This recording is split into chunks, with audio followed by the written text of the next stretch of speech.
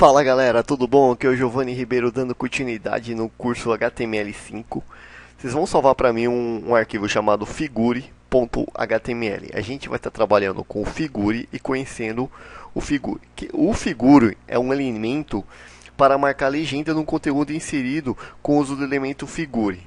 O que, que acontece? Eu posso estar tá trabalhando com o figure e no figure eu vou estar tá, tá colocando uma imagem. Como assim? Como que eu vou estar trabalhando com figure? Eu vou abrir a tag figure. Vou fechar a tag. Aqui dentro eu vou estar trabalhando uma imagem, entendeu? SRC. Eu tenho um, uma imagem aqui no caminho chamado HTML5.jpg, tá? Aqui eu vou estar trabalhando com Alt mesmo. Como que é uma IMG, eu vou estar trabalhando com Alt. É, imagem HTML5. Opa. Beleza.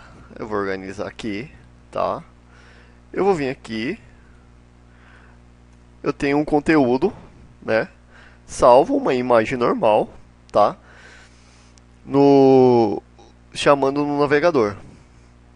Ok? Então o que acontece? Eu estou chamando uma imagem normal, mas eu estou usando o, figure. Esse figure destina-se a colocar uma imagem. Então sempre quando eu tiver um, uma imagem no, no meu projeto HTML5, eu vou estar trabalhando aí com figure, tá? E eu tenho outra parte, outro elemento aqui, ele chama é, Fig Caption. Como que ele funciona? Fig Caption.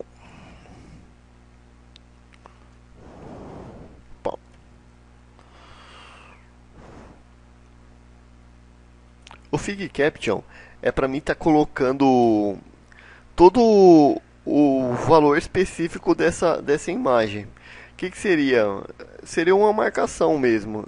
Então o que, que eu posso estar tá colocando? É, por exemplo, eu vou colocar aqui curso HTML5 completo.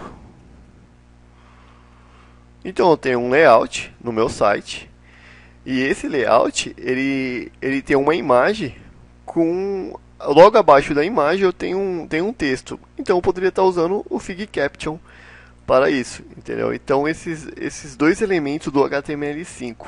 Se eu vir aqui, ó que legal, bacana, já vai aparecer. E o Google, a semântica do HTML5 já entende que é uma tag do HTML5.